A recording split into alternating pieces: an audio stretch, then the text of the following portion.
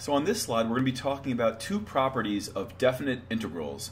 The first property states that if you're taking the definite integral of a function that has a constant in front, as indicated by this k here, then you're going to be allowed to move the constant out in front of the definite integral. And this is something that we've seen before in other things that have to do with calculus, this idea of taking the constant and moving it out in front. Now the second property states that if you're taking the definite integral of a multi-termed function, you can break that up into the definite integral of each term of that multi-termed function. Let's take a look at an example problem that will implement some of these different properties. Evaluate each integral using the following values. The definite integral of x squared from 3 to 6 is 63. The definite integral of x from 3 to 6 is 13.5 and the definite integral of 1 dx from 3 to 6 is 3. So I want you to think of these three things as your clues. Okay, number 11. Evaluate the definite integral of x squared from 6 to 6. Well, this one requires absolutely no work because it subscribes to one of our earlier properties.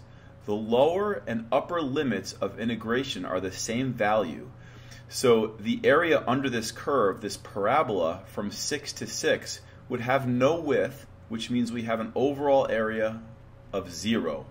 Looking at example 13, this is the definite integral of 10 from 3 to 6. Now 10 is a constant, so I can move that constant out in front and call this 10 times the definite integral from 3 to 6 of dx. And then this just becomes our third clue our third clue reveals to us that this is equal to 3. So it's going to be 10 times 3, or 30. Number 15, we've got the definite integral of a multi-termed expression. So I'm going to split this up into two separate definite integrals. So to finish this problem, I need to realize that I've broken this into two of my separate clues. The first one is the definite integral of x from 3 to 6, which is revealed to us here. And then the second part is going to be 3 times the definite integral of x dx, which is revealed to us here at the end. So this first one is going to be 13.5, and then we're going to add on to that 3 times this guy here, which is defined to be 3. So it's really going to be 13.5 plus 9, or 22.5. And now we'll take a look at the last one. Again, we've got the definite integral of a multi-termed expression. Now each term is preceded by a constant, so when I split this up into three separate definite integrals, I'm going to write that constant out in front. Now I'm just going to look at my clues and I'll be able to very quickly just substitute in the uh, known values. So this becomes one third of this, which is one of my clues. It's the first one, and this is equal to 63. And then I'm going to do minus 2 times this one, which is also a clue, and that is 13.5. And finally, it's going to be 9 or minus 9 times this last clue, which is 3. Now, cleaning this up, I have 21 minus 27 minus 27. This is going to be negative 33. So in summary, on this slide, I've shown you uh, a specific type of problem that implements these properties that we've been learning on the last couple of slides. They're not too bad. They're actually pretty fun. Uh, you just have to look for your clues and know how to use them. Let's go on to slide number five. Okay, so on this fifth slide, we're going to take a look at a few more examples using these different properties of definite integrals. In number 18, we're given two clues, and that is that the area under the curve of f from 0 to 7 is equal to 4, and that the area under the curve of f from 7 to 10 is 1. So what I like to do in this problem is I like to draw a little bit of a picture. Now, keep in mind I don't know what f looks like exactly, so I'm just going to make something up, something amorphic, like a little amoeba, like this. Here's the graph of f from 0 to 7, and that area under that curve is supposed to be 4. So I'm going to put plus 4. The area under the curve of f from 7 to 10 is 1, so I'll do a smaller version of that, and this is 1 still the graph of f over here. And if we look at problem 18a, this can be interpreted as what is the area under the curve from 0 all the way to 10. So here's the curve of f, and if we go from 0 all the way to 10, it's really the combination of 4 and 1. So it's going to be 4 plus 1, or an area overall of 5. Part C, immediately I see that property that we learned on an earlier slide where we're trying to find the area under a curve beginning at 7 and ending at 7. Now this implies that there's no width to our region, which means that the overall area is going to be 0. Okay, let's take a look at example 19. In number 19, we're given a definite integral of f from 1 to 3, and its area is 6. And we're given another definite integral of g from 1 to 3, and its area is negative 2. Now, just real quick, negative area might seem like a very strange idea to you, but in the context of what we're doing now in calculus, this is going to mean that the region is under the x-axis.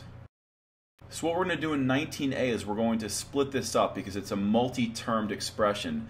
So I'm going to split this up into two definite integrals. Now, we're just going to look at our clues to know what this is.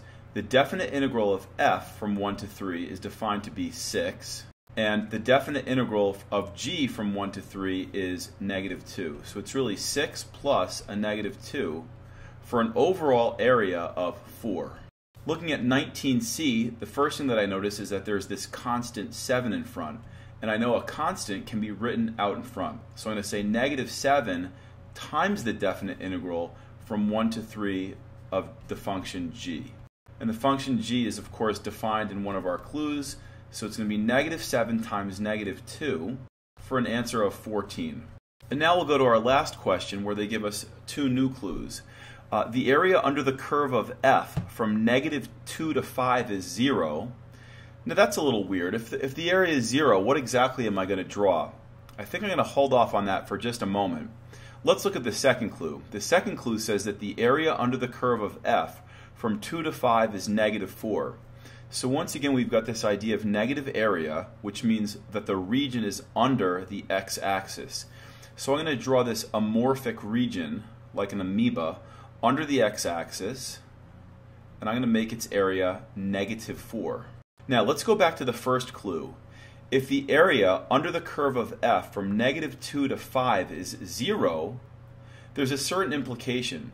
And the implication would be that the area under the curve from negative 2 to 2 would have to counter this negative 4. Because if overall it's going to be 0, then this has to counter that. So this is going to end up having to be positive 4. In this way, the overall area from negative 2 to 5 would be the 0 that we're looking for. So in 20a, again, I've got this constant in front, so I'm going to write this as 6. 6 times the definite integral from 2 to 5 of the function f.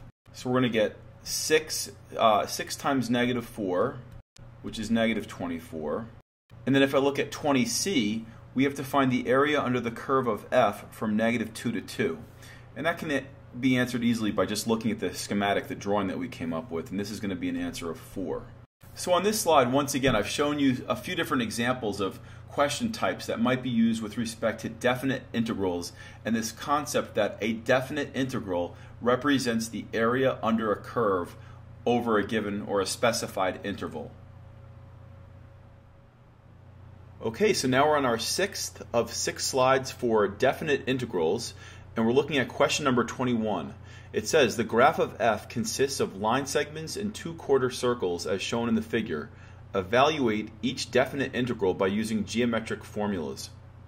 So in question A, we're asked to evaluate the definite integral of the graph of f from negative 2 to 0. So when I look at the graph of f from negative 2 to 0, the first thing that I notice is that the region is underneath the x-axis, which means my answer overall is going to be negative. So I'm starting at negative 2, and this region is bounded by the x-axis. So it's this little quarter circle here. And the area of a quarter circle is going to be pi r squared divided by 4. And the radius of this quarter circle is 2. So I'm going to go ahead and substitute that in. Now the 2 squared and the 4 are going to cancel out. So all I'm left with is pi, except I'm going to remember that because it's underneath the x-axis, it's really going to be considered negative pi. So area underneath the x-axis is considered negative area, which is a little bit strange at first, but it's not that big of a deal. Okay, let's take a look at uh, C. C says, find the area under the curve from 2 to 5. So I'm going to start at 2. I'm going to end at 5. and this is bound by the x-axis as well. And what I see here is that we have a trapezoid. And because we have a trapezoid, I'm going to use the trapezoid formula, which is area equals 1 half height times the sum of the bases. Now the height of this trapezoid is 3 units. This smaller of the two bases is 2 units. And the longer of the two bases is 4 units. So what we end up with is 1 half of 3 times 6. 3 times 6 is 18, and half of that is 9. Now, this time, the area is going to be positive because it's above the x-axis. So I'm going to write positive 9 in this trapezoid. Okay, moving to part D, it says find the area under the curve of f starting at 0 and ending at 5. Well, we already have from 2 to 5 done, so now we just have to capture this little region right here, which is again a quarter circle. But this time the quarter circle is above the x-axis, so the area is going to be positive. So this guy right here is pi, and then if I go from 0 all the way to 5, it's going to be the sum of those two regions, which would be pi plus 9. Or 9 plus pi, it doesn't matter. Addition is commutative, so the order doesn't make a difference. And moving to question E, now we're looking at the area under the curve from negative 5 to 5. So this is essentially the whole, the whole region. Um, so I need to find this little last section over here, which again is a trapezoid. This time it is oriented horizontally like this. So I'm going to be using the area formula for a trapezoid, which is going to be 1 half the height times the sum of the bases again. Now the height of this trapezoid from top to bottom base is 2. And then the lower, or the shorter of the two bases is also 2. And the longer base is 3. Now the 2 and the 2 are going to cancel out, so all we're really left with is 5. But because this area is underneath the x-axis, or this region is underneath, I'm going to put negative 5. And to answer this particular question, I need to add up all the areas, all those regions that take me from negative 5 to 5.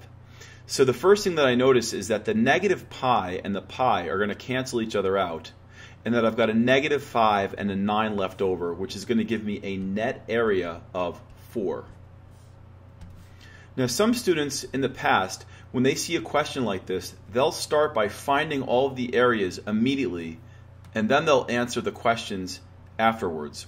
But then there's other students who want to just take each question as it comes. It really doesn't make a difference to me, but I just wanted to share that with you in case that's something that seemed appealing to you. So, in summary, this was a lesson on definite integrals, and definite integrals represent the area under a curve on a specified interval.